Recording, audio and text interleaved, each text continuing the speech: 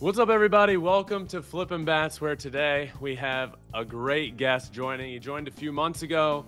He is now the American League 2023 Rookie of the Year, unanimously, might I add. He is Gunnar Henderson, and I am pumped to have him back on to talk about that 2023 year where he unanimously won the award, to talk about the Orioles, the success they had in the regular season, the not as much success that they had in the postseason and why he thinks that is, what they learned from the experience, how they're going to change that going forward.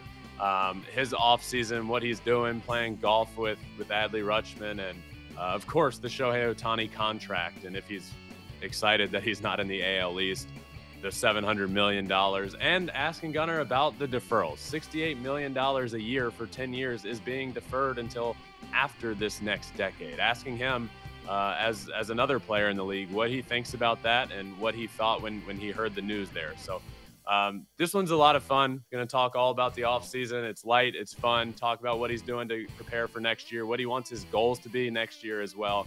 Always love talking to Gunnar Henderson. He's a great dude. He's a great young player in the game of baseball. He's a bright young star in this game, and love you all being able to hear from him. So without further ado, let's welcome in now the unanimous AL Rookie of the Year, Gunnar Henderson.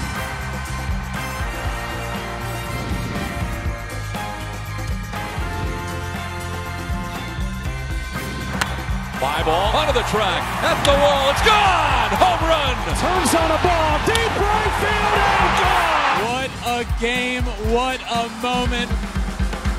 All right, I am pumped to be joined now by the 2023 unanimous AL Rookie of the Year, Gunnar Henderson. Gunnar, thanks for hopping back on, man. Uh, yes, sir. Thank you for having me. Of course, I got, I got to ask. I saw you a couple weeks ago. You were recently shown at the Auburn Alabama football game uh, down there in Auburn. I know you're a huge Auburn guy. Walk me through your emotions that fourth quarter of that game. Man, it was uh, still a still a sore subject. I mean, we were we were excited the the whole game, and then when that snap went over his head, followed by the play that uh, that they crossed the line of scrimmage and threw it, I was like, mm-hmm. man, we're we're gonna win this thing. And then of course, just the everybody you could hear a pin drop in that stadium. It was so quiet. It was crazy. Oh man, Gunnar. Since uh, we last talked, you came on the show a few months ago. Uh, the Orioles finished off a great season, number one seed in the American League. You had a great year, unanimously winning the AL Rookie of the Year. Uh, won that a few weeks ago when they announced it on MLB Network. So, what was that moment like? Having all your family around you, how special was that announcement for you? Yeah, no, it was it was really awesome just having having them there to uh, just to watch and uh, just because that's been the pretty much support group that's been with me through my whole career, and it's uh, it was pretty cool to have them there for that special moment. Was it a surprise when they brought uh, Cal Ripken Jr. on to talk to you? Uh, yes and no, because uh, they kind of said it was a special guest, and then I was like, well, I can I can kind of guess who it might be because uh, he was well, Gregg Olson was the last one, but he was the one before it, and uh, yeah, he's just been really helpful to me on everything because he'll come in the locker room sometimes and just being able to chat with him and uh, pick his brain has been really cool and really helpful for me. How ha- how has he been? You think the most impactful to you? Just coming in, if if you're picking his brain, what's it about? Offense, defense, playing the same position? Like, where do you typically lean on him for help? Uh, honestly, defense because he was a he's a taller shortstop as well, and uh, he was kind of going through the same boat of uh, everybody was saying that yeah, he's maybe too tall for shortstop, and then just being able to go out there and prove it. Um, I feel like he's kind of bought into that with me because I'm kind of in the same boat that he was whenever he was in my whenever he was my age. How how cool was it to to see him hop on for for that announcement? And one, I don't know if you've seen the comparison, but your rookie of the year stats, you and him are pretty close to the same stats. And obviously being from the Orioles, both taller shortstops. I mean, it's pretty cool to see a, a, legend like Cal Ripken Jr. and then yourself, your rookie year, having such a similar like dynamic throughout this part of your career so far. Yeah, no. Anytime you can, your name is beside a guy of that caliber is uh, pretty special. So it's uh, something I don't take lightly, and it's been pretty cool to be able to be compared to him because I mean he's a Hall of Famer and he's a really special player. Yeah, you guys this year were the number one seed in the playoffs. Uh, had a fantastic regular season, winning, you know, as much as you guys did, winning the AL East. uh, but didn't have the success in the playoffs this year. What would you say your takeaway from the 2023 playoffs was? Honestly, just when you go into it, just don't try and change anything. I mean, yeah, the energy is going to be, of course, a lot higher, and everything's going to be weighted a little bit differently. But the I feel like the ones that can make it, I guess, less like playoffs and more like the regular season games where you just go out there and have fun and just play loose. I feel like that's when you do your best out there. Do you guys feel like maybe as a team you did play it up a little bit too much? I mean, I feel like it'd be impossible not to with the young core that you guys have and a lot of guys on the team never experiencing the playoffs. Do you think you went into the playoffs like, oh boy, this is playoff time. We have to do more now to be able to win? Um, I felt like we just got. I mean, I felt like we played our game. It just we ran into Texas and they were really hot and they didn't miss any of the pitches that uh, we we threw and they uh, it was hats off to them. They were played really well and they ended up going out and winning it all. So I guess if you go out, that's the way you want to, but uh, still not fun to go out in the first round. So we'll definitely take this experience and uh, be able to use it as fuel for next year. Yeah, I think the Rangers went on to do some pretty big things in the playoff this year. Would you say playoff baseball? You had your first experience this year in the playoffs. Was playoff baseball everything you imagined it might be? Oh yeah, that's uh, that's what I've been looking forward to, and uh, now that I got a taste of it, I just want to keep making playoff pushes every year. What do you think you learned this year? Obviously, we talk about not winning the first series you guys play, being a great team in the regular season. What do you think your takeaway from this first year is that you'll take into the playoffs next time you're there? Hopefully, hopefully that's next year. Yeah, no, it's uh it's a very long season, so just stay the course of it and just allow yourself to embrace the ups and downs of the season because they all they all happen and being able to do that and just limit the amount of downtime is I guess the biggest thing for me and um yeah, just figuring out that 162 is every bit of 162. It's a very long season, so just embrace it and uh, don't get caught up with the uh, if you have early struggles. How many did you end up playing this year? Uh, I think it was 150 something. Is, I don't know if that uh, included playoffs or not, but is 162 in your future in a regular season? Oh yes, uh, I want to be out there every single day that I possibly can.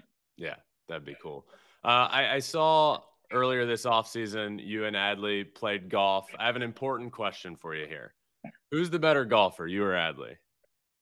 Honestly, I I will say we are very similar. It is a close match every single time we play. We both hit the ball a long ways off the tee box, and shocker. I'll say it honestly. It depends on who's putting better that day is who's going to win. So it's, it makes for a very good matchup. So I can't really give you a sorry. It's kind of a beating around the bush answer, but it's uh we're both very similar in golf. So it's a very it's a very level match. Every nobody's yes. giving anybody strokes. It literally all comes down to who's putting better. Oh yeah, exactly. How often do you get out? Uh, I actually play a decent amount because my older brother, now that he's done uh, playing baseball, we go out and play golf a lot. So we'll get out there, and then some of my buddies who are um, in college who are playing ball, that whenever they get on their break, we'll go play some. So I play a decent amount during the off season, and I try to during spring training on the off days. Where Where'd your older brother play baseball? Uh, he played at Auburn, or oh, he, did. he, went JUCO, and then um, yeah, made the team Could at you, Auburn. Would you have been teammates with him if you ended up signing there? I would have him and uh, my first cousin. We'd all three been there. That'd be cool. Yeah, yeah. So it's it's kind of tough to turn down, but um, he was helpful in the decision. Just say do whatever you want to do, and um, I mean just wherever your heart takes you. And I felt like I made the right decision. I think you've also made the right decision. What else you got going on this offseason? We've seen you at football games. I know you're playing a lot of golf. What else are you doing this offseason? Uh, so I've been duck hunting a lot. I actually went this morning, and uh, yeah, my little brother and I do a, do a decent amount of duck hunting in the off season. Did you get anything? Yeah, we killed six this morning, so uh, we might we might end up going tomorrow morning as well. So now obviously busy offseason getting ready for baseball as well. Your attention shifts to 2024. And after a, a massive 2023 rookie season, what would you say, Gunnar, your personal goals are for 2024? Maybe your personal and, and team goals. Yeah, uh, team goals definitely to make a World Series push. I mean, we got the taste of playoffs, and um, I mean, honestly, that's what I want to shoot for every year. Um, that's something that I've always wanted to do is win a World Series, and feel like you got to set your sights high and shoot for them. And uh, I'd say personally, I mean, I like to, like I said, I like to set my set my bar high, and I want to shoot for an MVP. And I feel like I just hold myself to a pretty high standard, and just the I put a lot of work in the weight room and in the in the cage. So just uh, gonna try and do that and get ready for the season. So I feel like if I just allow myself to take over um, and just trust my instincts, I'll be able to be in a good position for that. Well, I don't know anybody that's listening is going to doubt you because a couple months ago I said who's going to be the 2023 AL Rookie of the Year, and you said Gunnar Henderson's going to be. And fast fast forward a couple months, and that was absolutely happening. So, what, what would you say? What does your off season look like? Mine were always interesting in terms of you know I try and take what I felt I didn't do well in the regular season or in the season prior, and then go into an off season and try and work on specific things to get better in certain areas, and obviously try and lift and get bigger and stronger. So, what are your off-season focuses or are you saying i had a great year last year i'm going to do the exact same thing i did the off-season prior yeah um, i try not to get caught up in what i did the years past because i know the one time that I went through and had some some success in like an instructs camp the next off season. I was trying to replicate it after taking a break, and your body changes and um, it moves differently uh, after you take those breaks. So I just try to go in there and let my body be loose, and I feel like that's something that I've uh, I guess experienced over the past years of being in pro ball is just allowing my body to pretty much be loose, and then however it moves, it moves. And I try not to replicate something because usually it's not going to be the exact same movement, and you're sitting there and chasing ghosts essentially, and yeah. going down a rabbit hole that you uh you might not ever find what you were looking for. Thinking back on on your last season was, I mean, it was such a good year. In the end, you look up and obviously AL unanimous rookie of the year, but it wasn't the easiest beginning of the year for you. It was a sort of a struggle at the beginning of the year. And then at a certain point, you've seemingly figured it all out and went on to have a great year and be super successful and helpful to your team. And a big part of the reason the Orioles finished with the number one seed. Looking back on on that time at the beginning of the year, how how would you say you were able to flip the switch and and have the year you did? Was it something you just stuck to your game plan and said, I know eventually it'll turn around, or was there something that you found in your swing or in your approach or mentally that you were like, I need to fix this, and you did? Uh, so it's kind of two things. I was, I felt like I was trying to be too perfect up there and trying to find the perfect pitch to do damage with. And if you're sitting there looking for the perfect pitch, whenever you get it, you're probably going to be late and miss it regardless. And uh, that, and then I wasn't being like as aggressive, but being able to hear from my teammates who have been through it, and then um, actually Hyder, he came up to me and was like, uh, just like to see be a little bit more aggressive and um, I mean just taking the shots whenever you get them. And I felt like being able to do that, just allow myself to have those free swings. If I swing and miss at it, at least it was a good attempt at it. And eventually I'll get timed up with it. And as soon as I started doing that, I was able to hit some balls hard. And once I started falling, I felt like it just kind of took off from there. And it sort of like frees you up mentally as well, right? Like early in the account, if you swing and miss, who cares? It's 0-1, not a big deal. But it just allows you to have probably more flexibility at the plate and feel probably a little bit better with your approach, right? Yeah, I mean, definitely. I felt like one of the one of the swings that I kind of got that idea from was there was a hit and run on, and uh, just the the way my body felt like so free. Just, I mean, I got to swing at this pitch is what I'm supposed to do, and I ended up hitting it pretty hard. So just uh yeah, allowing yourself to be loose and not get caught up in oh if I swing and miss then that that'll look bad. Just so what? Just keep swinging and uh, it'll eventually start falling. It's also probably nice to have somebody come up and tell you that because I imagine as as a young guy in the lineup, your first your full rookie season was there a thought in your head of like, well, I don't want to swing at the first pitch and get out and then screw over the guy behind me who's then going to have to take a pitch. So to have probably somebody on the staff come up and be like, swing away, man, like who cares? Probably even more so allowed you to stop worrying about everything going on around you and get back to your personal approach that you've probably had your entire life. Yeah, I mean, definitely helps come from the staff, and I'd say it probably helps more when like the players are like, "Hey, just go out there and do it. If you get out first pitch, uh, we know that it'll be more times than not that it won't be a like weak out. So that helped a lot, especially being in my first full year, coming from like some of the veteran guys that that uh that have been through it and know pretty much exactly what I was going through. Yeah. Well, I'm not sure if if you've heard anything about it, Gunnar, but over the weekend there was a fairly big signing in the game of baseball. How happy are you? Because the conversation was leaning heavily towards Toronto. How happy are you that Shohei Ohtani is not going to be in the AL East for the next decade? Yeah, I got to face him once, and I'm uh, I'm very glad that. uh, well, I guess I had to face him at least once uh, with the Dodgers. Well, he won't be pitching next year, so in 25 we'll look forward to facing him. But man, uh, that's just electric stuff. But um, very happy to see that he got what he was worth. I mean, yeah. it's just unreal talent, and um, yeah, it's really fun to watch and really fun to compete against. Yeah, pretty big difference in facing a guy maybe once a year if you run into him, as opposed to I feel like you guys play the Blue Jays every other week. So yeah, uh, it seems like we play them all the time. what yeah. were your thoughts when you heard it first come out? He announced it obviously on on his Instagram, but when it first came out, ten years, seven hundred million dollars. what, what was your gut reaction? I feel like mine was pretty similar to the entire community of baseball when you just like you draw hits the floor because that number hasn't been mentioned like ever. Uh-uh. Or I think it said it was like the biggest in North American sports. Is that right? Yep, North American sports I mean, history. That, that's crazy, but I mean he deserves it. That you don't see a guy who can go out there and be an ace and then also lead the league in home runs and have a 300 average. So he deserves every bit of it. So I, I want to talk to you about obviously we hear about the signing and then the next few days we hear about the way the contract's all set up. And when the contract was first announced, all we heard was unprecedented deferrals. Nobody really knew what that meant, but I think everybody knows it's Shohei Ohtani. He's one of one. His contract is probably also going to be one of one.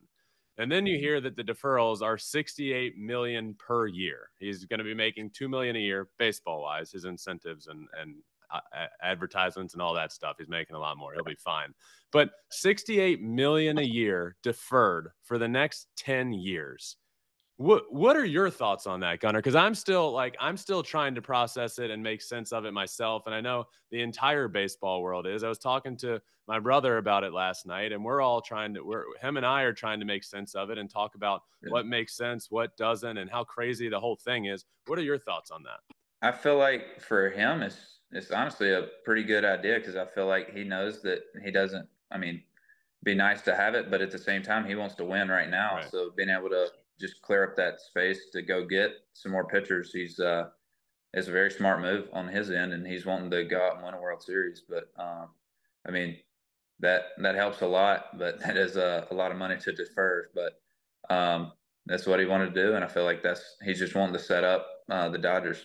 Yeah, well, that's kind of my thoughts 100% is the guy has been very vocal about saying, I just I want to win. That's my number one priority and, you know, money is what it is, but that's not my number one priority. And then I, I people from from what I've seen so far, the conversation has gone to like, "Oh my god, this is this is crazy. How is this allowed?" blah blah blah. And I I think what's important to realize here is that you know, there's still it's still a pretty big hit on their CBT and this is basically Shohei's ability to. I, I just don't think you'll find many players that would say, okay, I'm going to make all this money and I don't even want it now. I, I want it later. And I think that's yeah. the big difference here that that people are missing is this isn't this big scheme from the Dodgers. This was Shohei's idea saying, I don't even care about the money right now. I'll I'll take it in the future and probably move out of California to make a little bit more in that process. But right now, I just want to win, and I want the Dodgers to be able to sign some more people. And and I really think that's uh, it was his idea, and I think it's really this really cool idea for him to be able to have to help his team win. Yeah, I agree with you on that. I mean, I felt like that's exactly what he was doing, and um, I mean, hats off to him. That's a pretty cool thing that I don't know if anybody's ever done. Gunnar, if you win, you sign your first seven hundred million dollar contract, what's what's the first thing you're going to buy? Um, honestly, I would just like uh, some some good plot of land. That's bad. I love that. I, yeah, just somewhere that I can have my own space. That's that's I'll be happy there. Just like the perfect hunting and fishing area to have that you can just go out on whenever you want. Exactly. Speaking of contracts, Gunnar, word is from the Baltimore Orioles that they are interested at least in an extension. Of course, they are. They should be. Have the Orioles yet reached out to you about an extension?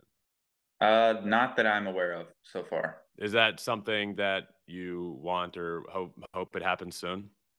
I would I would love to. Um, I mean, just depends on uh, what they're willing. I mean, it's it'll be cool to play in Baltimore for a while, yeah. and uh, I mean, they've been nothing but great to me so far. So it's been really fun to be able to play for them. Speaking of playing in Baltimore, before before I let you go, we got to talk about what the hell is going on with this stadium situation there. I feel like every day I see something that's like the stadium. I, I, thought a couple months ago I saw the Orioles were signing this long-term deal with the city to keep you know Camden Yards there, and then I feel like over the last few days I've I've seen something that I, I honestly don't know. So I honestly would love your opinion on what the hell's happening. But is it is it not guaranteed that the city is going to keep the stadium there or the Orioles would stay there? What's happening? Uh, as far as I was aware, I, I, thought they signed the deal where it extended through like 2032. That's what I, I thought. that was. I don't think it. I they announced it on there, but yeah, I don't know. Uh, that's that was as far as I was notified with that, and uh, I mean they announced it during the game, so that's uh that's what I was under the assumption of what happened. If they announced it during the game, then hopefully it is something that is ultimately happening. Yeah, yeah so that's that's all I have on that. That's all I really uh, heard about it.